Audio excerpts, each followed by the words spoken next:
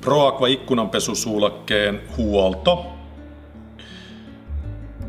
Kumi voi olla kulunut tai vioittunut, voit vaihtaa sen helposti. Itse tarvitset ristipäämeisselin ja torksmeisselin ruuveihin.